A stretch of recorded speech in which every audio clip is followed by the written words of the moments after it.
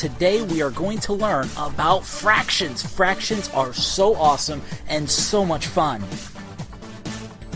Many of you think so too. A couple of weeks ago, we set up a poll on our channel, and many of you voted for fractions as our next math video. That's really awesome. Thanks everyone for voting. And don't worry, we'll make the other two videos too later on, but this is all about fractions.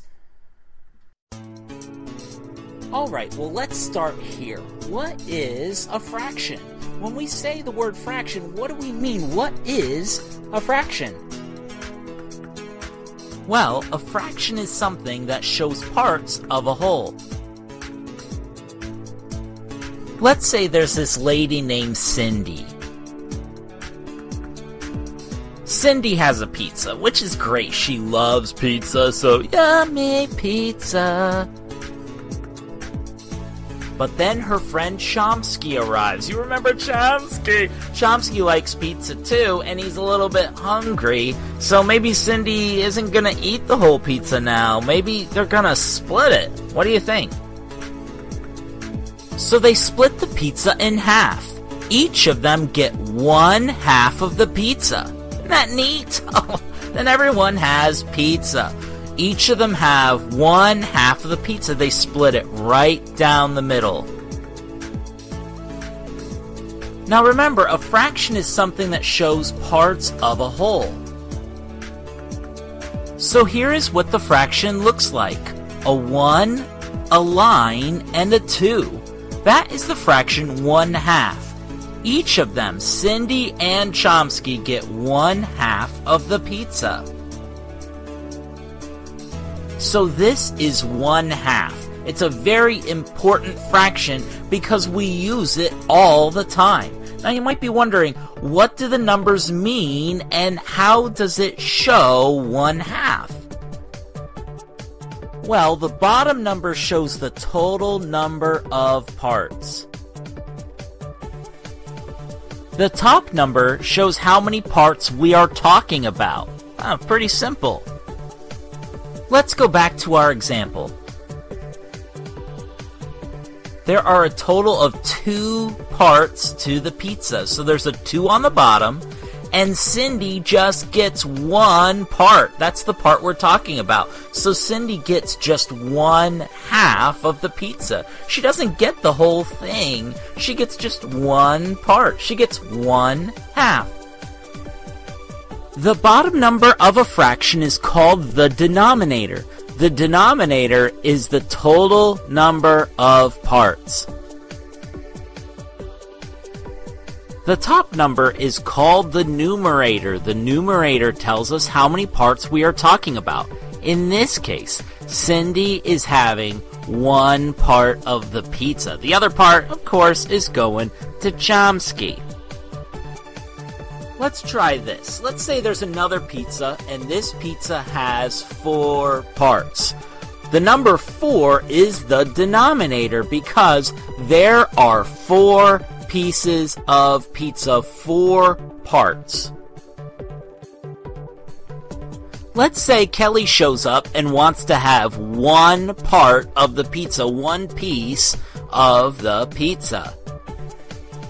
The numerator or the top number of the fraction is the number 1 because Kelly is having one part or one piece of the pizza. Kelly is having one fourth of the pizza. Pretty simple, pretty fun. Fractions are awesome.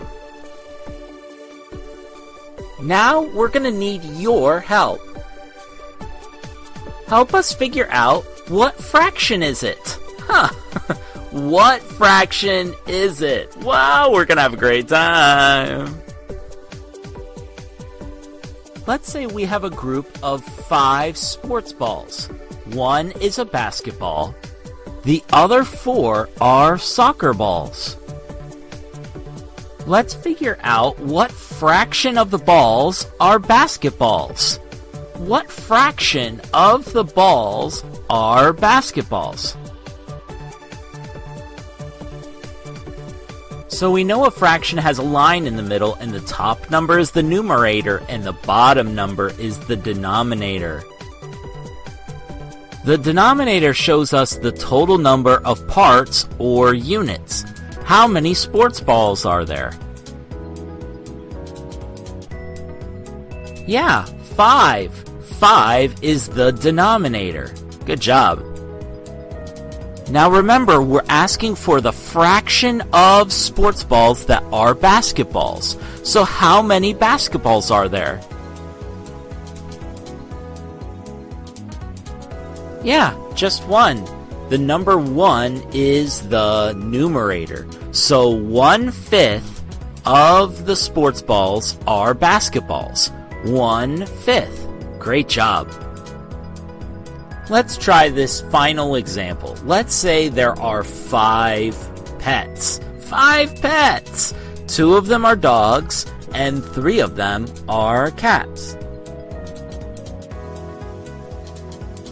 What fraction of the pets are cats?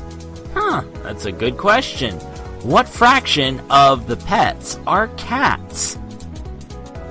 Remember, here's what a fraction looks like. It's got a line in the middle, with the top number being the numerator, and the bottom number is the denominator.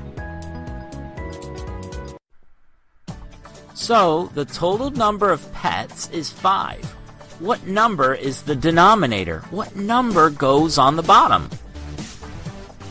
Yeah, 5. 5 is the denominator. It tells us the total number of pets.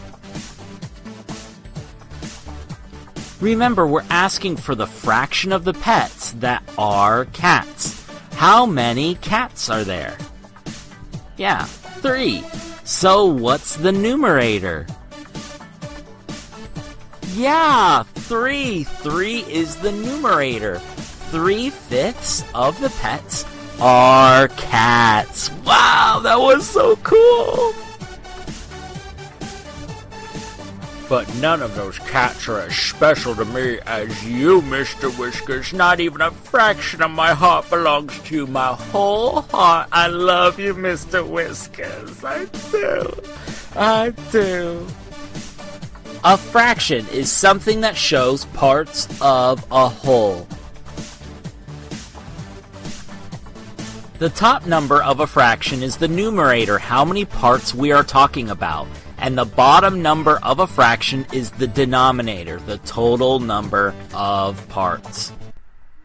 Thanks for watching this homeschool pop video on fractions. I am not sharing this sandwich. I don't care if Chomsky shows up what he says to me. I'm not gonna share it. I love fractions, but I'm not giving a fraction of this sandwich away. I don't want to cut it in half. I don't want it to be a half. I don't want to have just a quarter of this sandwich. I'm eating the whole thing. Chomsky? John's. Hey, keep your di- keep your distance.